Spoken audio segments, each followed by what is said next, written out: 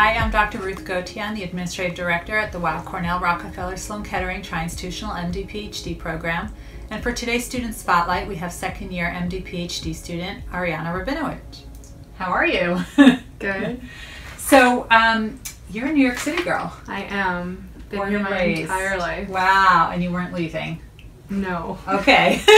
so, um, why don't you tell us your story of how you chose to become a physician scientist? Okay.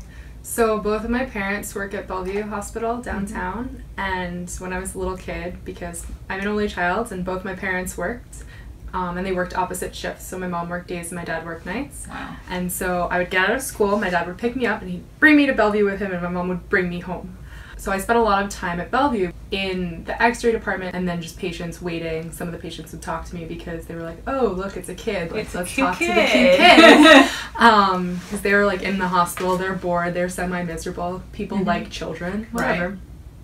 And so I had a lot of exposure to medical fields, and I was like, "This is really cool." Um, people seem to get reward out of what they do, Mhm. and um, I liked the idea of really being able to sort of help people. And there's a large prison, there's several prisons at Bellevue, so there's a prisoner population that people interact with. And when I was a kid, I didn't understand why there were like, why were we doing things for prisoners? Like they're prisoners, they're bad people. I don't know. I was like five years old. So that's Right. the five year old understanding of what prisoners are. Right. And so my dad told me like it doesn't matter, they're sick.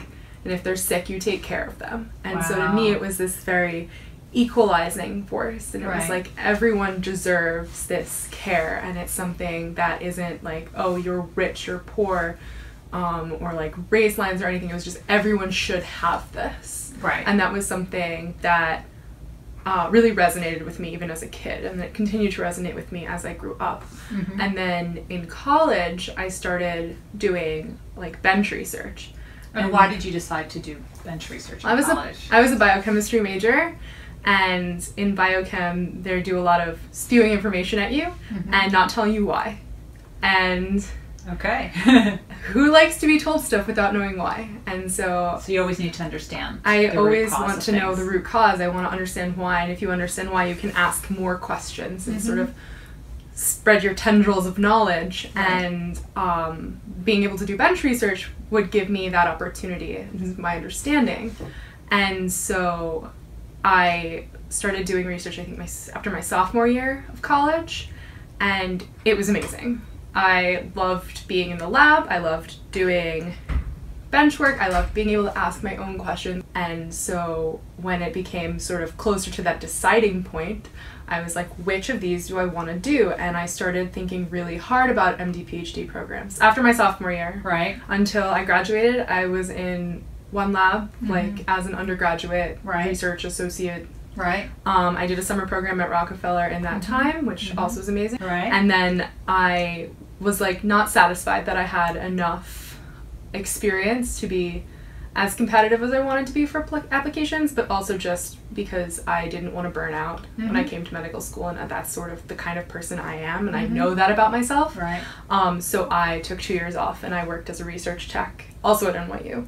And then you came into the MD PhD program full steam ahead. Yeah. All right. And you are now starting your second year, Mhm. which is a mix of the basic science curriculum for the first part, and then you do a few rotations before you'll start Mhm. your PhD. What are your feelings this year? I'm nervous Uh huh. about going on the wards because the stakes are higher when you're interacting with people. Right. Um, they're not just educational tools, right? They're real patients. Their lives are more important than mine in that instance. Right. In right. that interaction. And it's like, yes, it's an educational opportunity for me, but it's like their life. Right. And I take that really seriously. And so it's a little bit nerve wracking to be in that position. And then my first rotation is on psych. Mm-hmm. And so there's a little bit of nerves there because we haven't learned that part of the curriculum yet. We're in it right now. right. So you'll be an expert. It'll be fresh in your mind by the So- time you actually have to do it. so I'm a little bit nervous just because I don't know what to expect right, now from that. Right. But I'm excited as well. Like Mhm. the clinical components that we've had so far, small that they've been, were amazing. Um, interacting with patients, it's amazing when they sort of when you're doing your job right and Right. then people are tend to be appreciative Right. um, because you're nice to them and you're not abrupt with them because you're a med student and you have time Right. Right. Um, so you give them what you have right now. yeah So getting into an MD PhD program is not the easiest process in the world, uh, with a lot of hiccups along the way. Um, but almost every single person who's been sitting in this chair who I've talked to has told me that they've had people that try to dissuade them.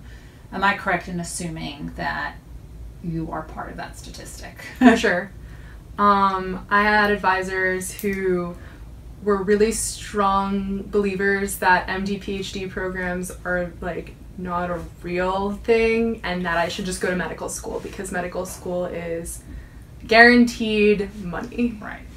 In the long run. And Right. was like, this is a guarantee. Right. This is what you should do. You have all the pre med classes because a biochemistry degree is the same as a pre med degree, basically, um, at any school. But you didn't listen to those people. And I was like, that's not what I want. That's not what I want in my life. Um, it's not who I want to be. It's not who I feel like I am. Right. There's a very distinct difference, I feel, between people who consider themselves like medical students, pre meds, and people who are pre MD PhD. Like, there's just a there, there's nothing better or worse about the two groups, but the people have tend to have different personalities and Right. like different motivations. And I felt that my motivations more strongly aligned with those who wanted to do MD PhDs than they did with MDs because that was who I was. So those people just became white noise to you.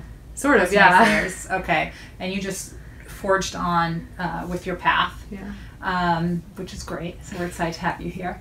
Now, you didn't want to leave New York City. Uh, not really no. and why is that? Um, so I studied abroad for one semester when I was in sophomore year of undergrad, and I went to London, which is probably the most New York City you can get outside of New York, and I wanted to come home. Right. Okay. Okay. So you, so you like the comforts of home. I like the comforts of home, and I like the comforts of stuff being open at any time. You're studying until 4 a.m. It's okay because there's something open. There's something there for you. All right. So you are part of a big class. There are 18 in your class, but you Mhm. guys are a tight group. Like Yeah. almost every single one of our classes here are a very tight group. Yeah. What do you think makes your class gel so much? Um, Because it's a very diverse group. It is. We're we're really diverse in age. We're diverse in interests, um, religiously diverse, Mm-hmm. all kinds of things. And I mean, part of it is like there are commonalities in our personalities for Mhm. sure, um, and the sort of dedication to asking why is a really big component for why we all get along so well, right? Because we can talk about we can talk about anything and Right. it sort of always boils down to but can you argue it can you explain it but why um, and it's great It's it's like interesting conversations at four in the morning. it is and we can be at like having a party and we'll just talk about science sometimes or we can it's not just your class, by the way. Put it that way. or we can sort of be talking about any phenomenon and we boil down to the science and it's like going from what most of us have had in the past which is being that sort of weird nerdy kid to being with all of the weird nerdy kids so that's normal, right? yeah That's the normal. so like being that weird science nerd makes you like perfect you fit in great you're just it's like happy to be with people who finally get you Yeah, a lot of people get each other Yeah. here, which is great. So, what are some of your favorite things to do now that you're here in the In the program? program? Um, I really like hanging out with my cohort, Mm-hmm. Mm-hmm. um, and also with my med class. We like go swimming. A bunch of people bike and run. My friends are trying to pull me into that bike and running situation. We have a lot of athletes. Um, we uh, like I bake with some of my friends. Um, I was doing the acapella group last semester. We'll see if I go back this semester. Time will tell. Time will tell. Um, I am part of the Weill Cornell Center for Human Rights, which I'm Mhm. sure Andrew probably talked about when He he, did. did. his Yeah. video cast because he's much more involved than I am. But, But, but that's where we learn that really from day one, you're able to work with patients Yeah. in a very hands-on Yeah. way. And then I also like took a role in class council. So, Mhm. um, And you were a big sib And I was a big sib for Gateways. program. So, um, which is our summer undergrad program uh, for students who are underrepresented um, or have a disability and want, wish to pursue the combined MD PhD degree. Yeah. So shout out to Gateways. Um, so um, you're involved in a lot. yeah, I like. I also did two other mentor things. Um, I really enjoy mentoring uh, younger students, Mm-hmm. sort of helping them figure out what they want to do and Right. help them figure out how to achieve that if there are barriers to uh, access for some reason. I especially like helping female students Mhm. out because there are a lot of barriers. Right. You're female in science and medicine, and especially in a lot of people's families where they don't really think it is necessary for their daughters to Yeah. um, pursue higher education, and they're just like, that's not really your point. Well, you had Um, you had somebody who set the bar for you. Yeah. and I guess you're now doing it for the Yeah. next generation, which I think is great.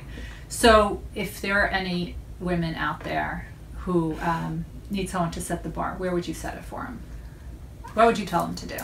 tell them to do whatever you want to do because you can do it um, if there are barriers you can try and find some other women you could contact me um, my email inbox is always open um, to sort of give you some ideas um, some guidance if you're having trouble with something specific Mm-hmm. um, people who've been through it tend to have ideas on how you can get through it Right. um, But but reach out to other people Yeah. who are like you. So set goals, come up with an action plan, and contact people who've been through it. Maybe they can give you some ideas to help you out along the way. And look, Ariana did it, and there are plenty of people just like her. So, anything else you want to add? Um, hmm. This program's amazing. I never thought that I would get in here. Um, it was my dream from the moment that I uh, stepped foot on Rockefeller's campus. I was like, this is where I want to be, and I was convinced that I wasn't good enough to get it. And Why? because we all put ourselves down, we put so much pressure on ourselves. Why though? And so then we're convinced that we're not as good as other people and i think really high achieving people have a tendency to do it and it's true for most of us and i got in and when ruth called me i was like i Remember that call. i think i might cry so I have to that's a favorite part of my job is when I get to call accepted applicants and let them know they've been accepted. That's And a I- good day. and then i called my mom and my mom actually cried so Great. If you like Ariana's story, please share it with others. So hopefully, it can motivate more people to pursue uh, the MD PhD degree.